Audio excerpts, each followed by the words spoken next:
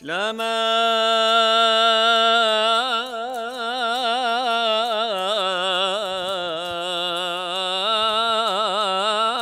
خون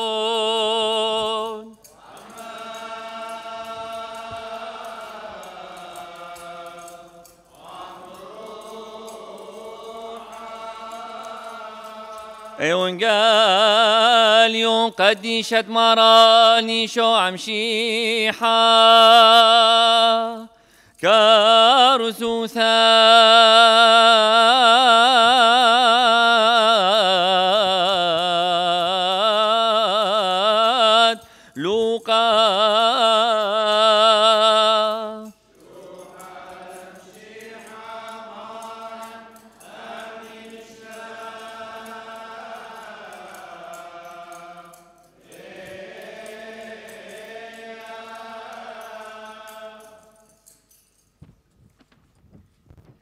لأن كثيرا من الناس أخذوا يدونون رواية الأحداث التي جرت بيننا كما نقلها إلينا الذين كانوا من البدء شهود عيان وخداما للكلمة.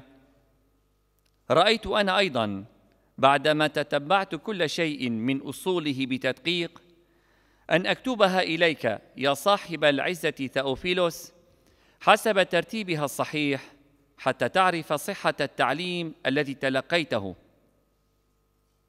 كان في أيام هيرودس ملك اليهودية كاهن من فرقة أبية اسمه زكريا. له زوجة من سلالة هارون اسمها أليصابات. وكان زكريا وأليصابات صالحين عند الله يتبعان جميع أحكامه ووصاياه ولا لوم عليهما. وما كان لهما ولد لأن أليصابات كانت عاقرا.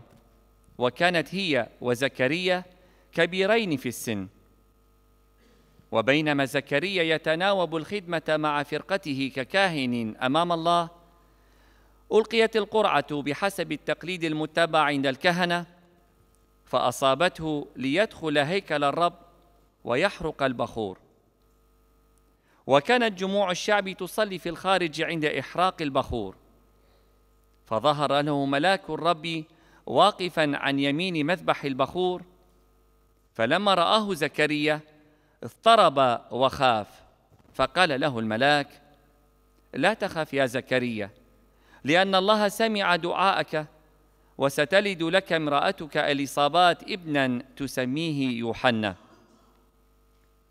وستفرح به وتبتهج ويفرح بمولده كثير من الناس لأنه سيكون عظيما عند الرب ولن يشرب خمرا ولا مسكرا. ويمتلئ من الروح القدس وهو في بطن أمه. والمجد لله دائما والرب يبارك عليكم. المجد.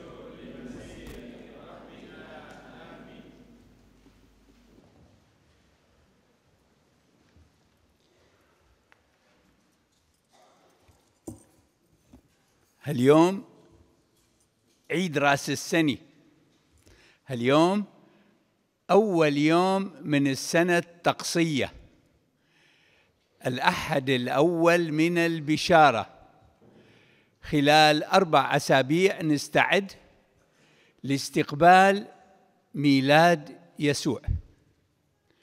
نستعد. نحن أيضا نتعلم مثل ما سمعنا بالإنجيل من الإنجيل لوقا يقول رحت دورت سجلت المعلومات من أصوله لأنه هذا الإنجيل انكتب بعد سقوط أورشليم وأكيد جيل الثاني والثالث كان بدوا ينسون ما عرفوا يسوع. فراد يسجل يوثق هذه المعلومات الضرورية. نبدي بهواية لوقا. هوايته بتلميحات للأسماء اللي يذكرها في الإنجيل. يحكي أو يوجه كتابه مثل عادة ذاك الزمان لشخص اسمه تاوفيلوس. تاوفيلوس كتب باليوناني لوقا. تاوفيلوس يعني محب الله اللي يدور عن الله اللي يحاول أن يعرف منه الله. هذا شخصية خلينا نقول بلاغية يريد لوقا أن يفهمه شنو الإيمان. مع التمني بأن كل المسيحيين يكونون محبي الله. لكن أكو أيضا أسماء أخرى مهمة. الاسم الأول يحكي عن زكريا. هذا اللي راح يكون والد يوحنا المعمدان.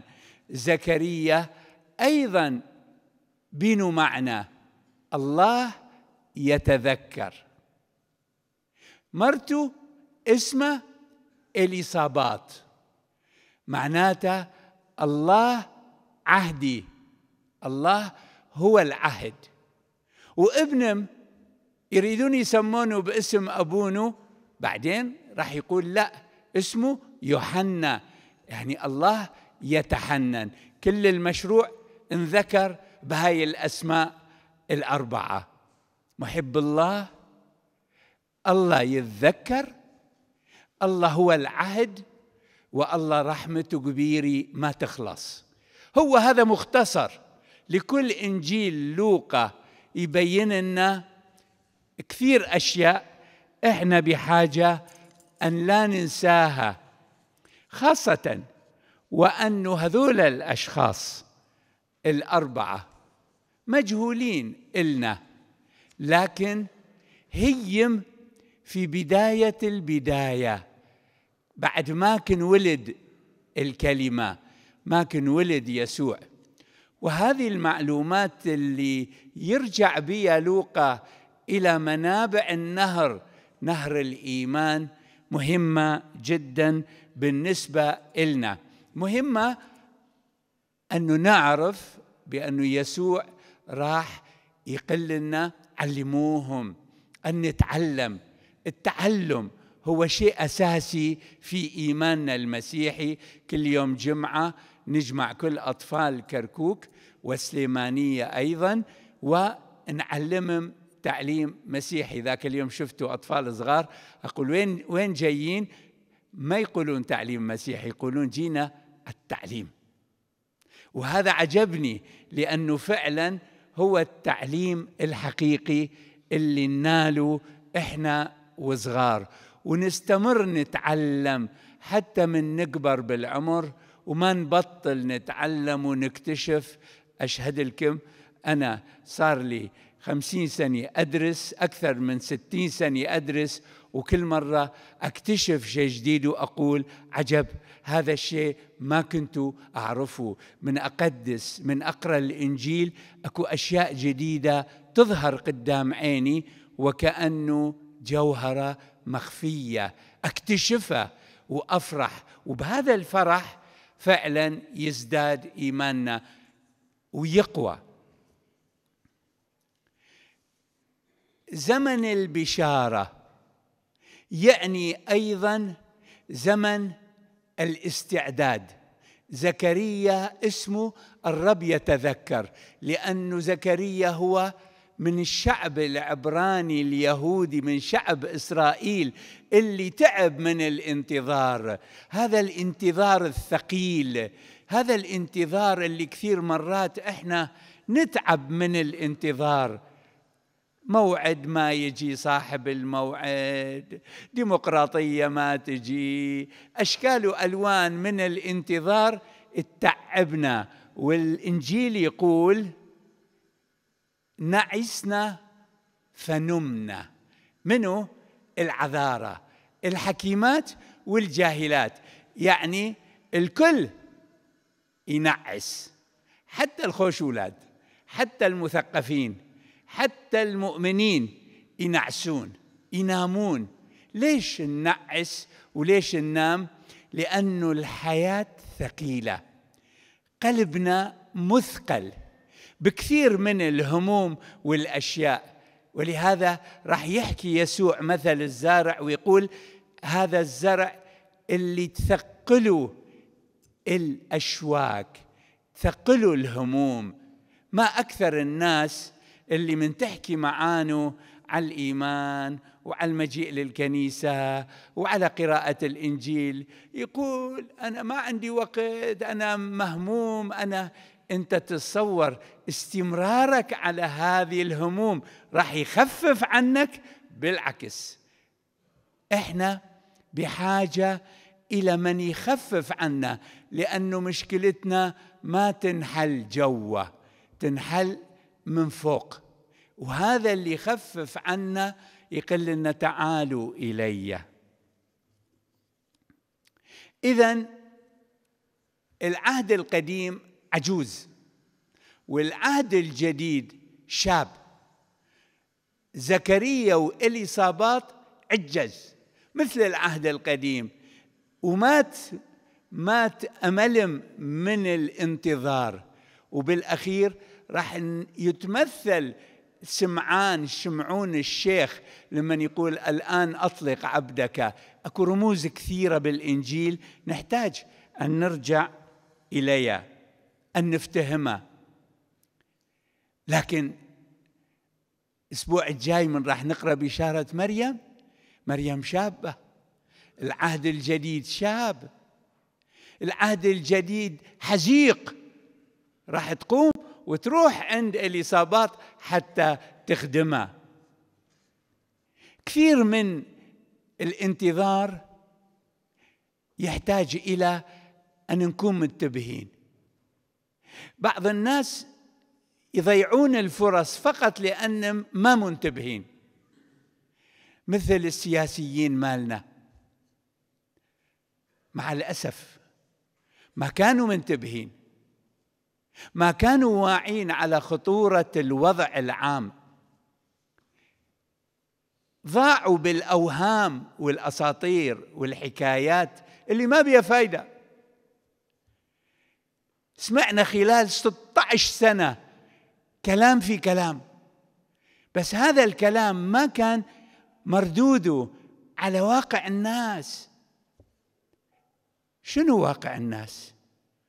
واقع الناس هم الأطفال. هم المستقبل. أهم شيء بمجتمعنا هو هي الصغار. أهم من الكبار. أنتم الكبار عشتم.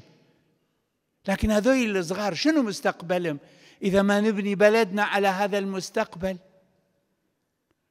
إنجيل يقول مستقبلهم حنان الله رحمة الله. وين الرحمة؟ وين الرحمة؟